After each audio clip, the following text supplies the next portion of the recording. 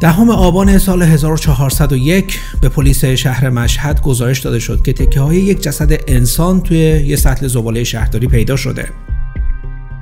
تکه های این جسد توی 10 تا کیسه زباله مشکی ریخته شده بودن و قاتل حتی پوست مقتول رو از گوشت بدنش جدا کرده بود تا کسی متوجه این که اون تکه های گوشت متعلق به بدن انسان بودن نشه. با من همراه باشید تا جزئیات این پرونده رو براتون تعریف کنم.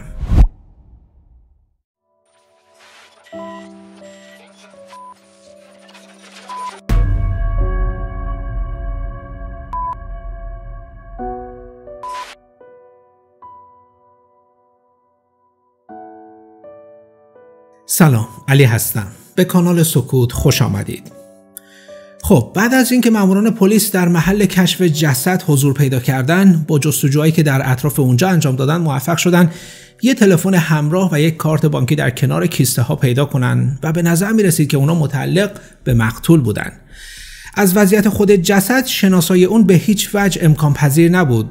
اما معموران با استعلام همون کارت بانکی خیلی سریع متوجه شدن که فرد قربانی یک زن سی ساله به نام سبا بوده.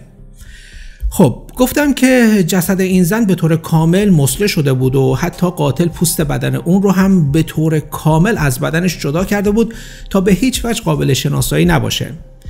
اما عجیب این بودش که پلیس موفق نشده بود توی اون کیسه ها دستان مقتول رو پیدا کنه یعنی احتمال این وجود داشت که قاتل دستای قربانیش رو جداگونه در محل دیگری به دور انداخته باشه سبا یه زن بسیار سرزنده و اهل سفرهای خارجی بود که بارها به کشور ترکیه، دبی و دیگر کشورهای حوزه خلیج فارس سفر کرده بود. دوستان اون و اطرافیانش می‌گفتن که سبا زنی نبود که دشمن خاصی داشته باشه و احتمال می‌دادن که هر کسی که این کارو با اون کرده بود به یه شکلی با اون در ارتباط بود و یکی از آشنایانش بوده. خب گفتم که در محل کشف جسد یک کارت بانکی هم پیدا شد و پلیس بعد از استعلام تراکنش های بانکی اون متوجه شد که صبا در روز به قتل رسیدنش از یک سوپرمارکت که با محل کشف جسدش فاصله زیادی هم داشت مقداری مواد خوراکی خریداری کرده بود و حتی روی نقشم اگر دقت کنید محل سوپرمارکت با محل زندگی اون فاصله زیادی داشته و این به این معنا می‌تونست باشه که قاتل حتما اون رو بعد از به قتل رسوندن به محل کشف جسد برده بود. خب ماموران بعد از به دست آوردن این اطلاعات به سراغ اون سوپرمارکت رفتن و وقتی با صاحب اون صحبت کردن اون مرد بهشون گفتش که دقیقا یادشه صبا در اون روز وقتی برای خرید به مغازه اون اومده بود رفتارهای عادی نداشت و خیلی مضطرب به نظر می رسید و همین رفتارهاش باعث شده بود که اون اون رو فراموش نکنه و هنوز صبا رو به خاطر داشته باشه. گفتم که صبا دختری بود که عاشق سفرهای خارجی بود و اون روز زمانی که ماموران پلیس داشتن با صاحب اون مغازه یعنی مغازه سوپرمارکت صحبت می‌کردن یکی از اونا متوجه یک آژانس مسافربری که روبروی اون مغازه بود میشه. اون در یه لحظه با خودش حدس می‌زنه که احتمال داره سبا از طریق همون آژانس مسافرت های خودش رو انجام داده باشه. برای همین تصمیم می‌گیره که در نقش یک مشتری به اون آژانس بره تا بلکه بتونه سرنخی از قتل سبا در اونجا به دست بیاره. اون برای خرید بلیت وارد آژانس میشه و به کارمندهای اونجا گفته بود که می‌خواد با مدیر آژانس صحبت کنه. مدیر آژانس مردی لاغرندام به نام وحید بود که 42 سال داشت و وقتی با اون مأمور پلیس روبرو شد بلا فاصله فهمید که اون مأمور هست و دچار استراب شد. یه مورد دیگه که خیلی مورد توجه پلیس قرار گرفته بود این بودش که وحید هنگام صحبت کردن سعی می‌کرد که دستاش رو در حالتی نگه داره که زخم کف دستاش مشخص نشه. و زمانی که اون مأمور پلیس ناگهان عکس سبا رو روی میز اون گذاشته بود و ازش پرسیده بود که آیا اون زن رو می‌شناسه یا نه؟ وحید دچار استراب بیشتری میشه. رنگ از رخش میپره و در حالی که سعی داشت خودش رو کنترل کنه ناگهان چیزهایی گفته بود اطلاعات رو به پلیس داده بود که باعث شده بود همونجا گرفتار همین ماجرا بشه. اون گفت که سبا یکی از مشتریانش بود و چون در گذشته توی یکی از سفرهایی که به دوبی داشت به صورت غیرقانونی در اونجا اقامت کرده بود دیگه نمی‌تونست به مدت پنج سال به دوبی برگرده. طبق گفته های وحید سبا روز گذشته به آژانس اون اومده بود و ازش خواسته بود که یک بار دیگه مشخصات اون رو توی سیستم پیگیری کنه و ببینه که آیا ممنوع ورودیش به کشور دوبی برطرف شده یا نه. وحید می‌گفت از زمانی که سبا از دوبی برگشته بود این تقریبا کار هر هفته اون بود که پیش اون میومد و ازش می‌خواست که با اداره مهاجرت و یا سفارت دوبی تماس بگیره و ازشون بخواد که مشکل اون رو رفع کنن. با این صحبت های وحید وقتی که ماموران پلیس فهمیدن که اون حتما اطلاعات بیشتری از سبا داره ازش خواسته بودن که همراهشون به کلانتری بیاد. وحیدم از اونها خواسته بود که برای حفظ آبروش حداقل جلوی کارمنداش بهش دستبند نزنن و وقتی که از آژانس خارج شدن خودش همراهشون سوار ماشین میشه. و این آبروی وحید براش خیلی مهم بود که در ادامه بهش می‌رسیم که چرا اون اینقدر به این داشتن آبروش و از بین نرفتن آبروش حساس بوده.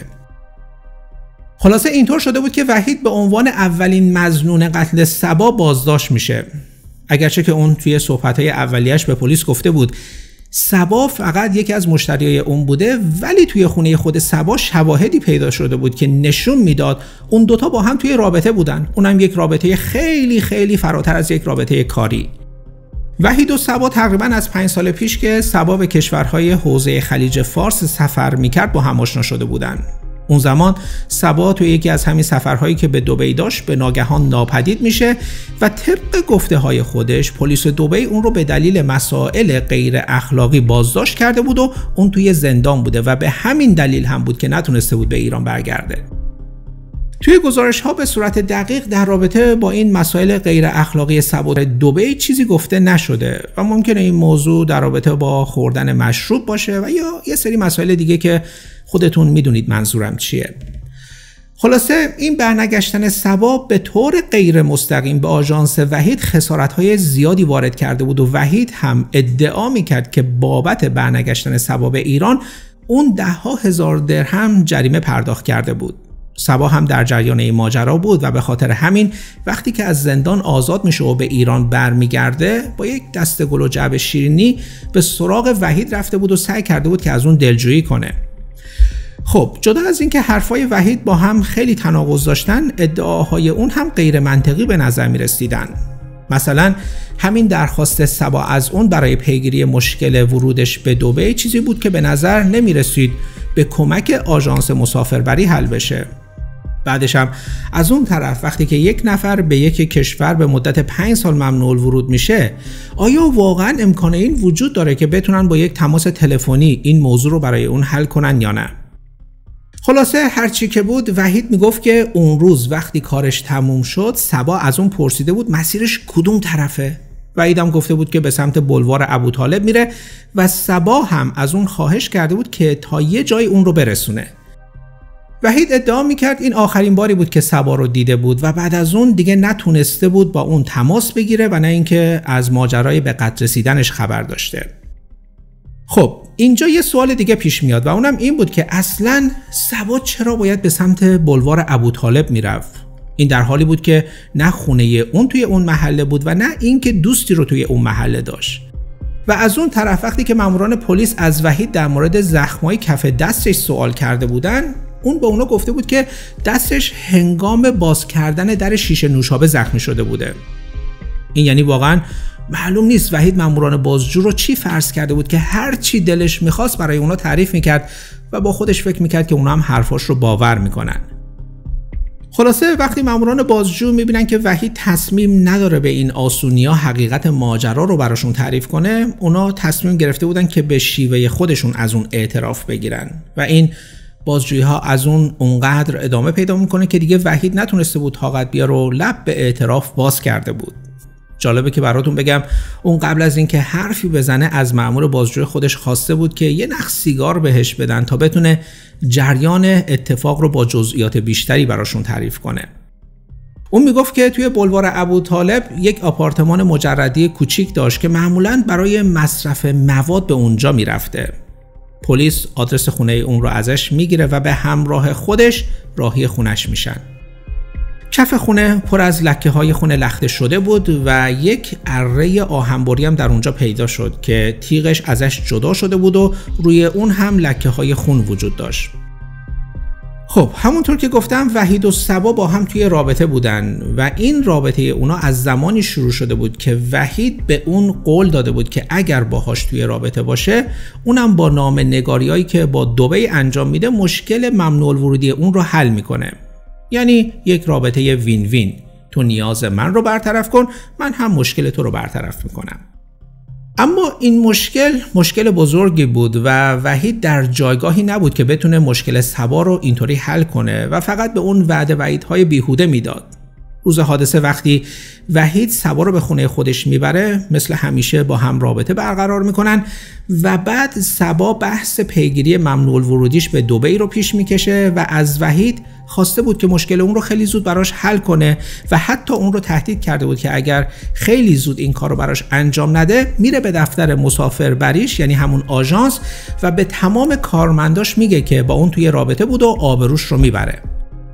خب بحث از بین بردن آبرو برای وحید خط قرمز اون بود. به خاطر همین عصبانی میشه با سبا دعوا می‌کنه و توی این درگیری وحید توی یه فرصت مناسب از پشت سر موهای سبا رو می‌گیره و بلا فاصله با یه تیغ موکت بری شروع می‌کنه چند ضربه به گلوی اون زدن. البته این ضربات اونقدر قوی و کاری نبودن و سبا تونسته بود از دست وحید فرار کنه و خودش رو به راهرو ساختمون برسونه. ولی متاسفانه اونجا وحید دوباره اون رو گرفته بود و به خونه برگردونده بود و با همون تیغ موکت بری. اونقدر روی گلوی اون کشیده بود که گفته شده سر سبا تا حدود زیادی از بدنش جدا شده بود. وحید بعد از این اتفاق دچار ترس و وحشت میشه و تصمیم گرفته بود جسد سبا رو طوری از بین ببره که نه کسی بتونه اون رو شناسایی کنه و نه اینکه دیگه ردی از قتل باقی بمونه. این حادثه بعد از ظهر اون روز رخ میده و وحید هنوز نیاز داشت به آژانس برگرده و بعد از تعطیل شدن کارمنداش در اونجا رو ببنده و برای اینکه چهرش نشون نده دچار ترس و استراب هستش بعد از مصرف یه مقدار مواد به آژانس خودش رفته بود. خلاصه اون بعد از بستن در دفترش بین راه از یک ابزار فروشی یک اره آهنبری و تعدادی کیسه زباله بزرگ می‌خره که بتونه همون روز با مسله کردن جسد سبا و دور انداختنش از شر اون خلاص بشه. اون این کار رو داخل خونش انجام میده و برای اینکه کسی متوجه نشه که اون تکه های گوشت متعلق به بدن انسان بودن پوست بدن سبا رو به طور کامل از بدنش جدا کرده بود.